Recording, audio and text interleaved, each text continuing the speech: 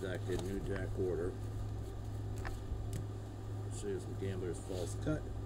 Deck back into new deck order.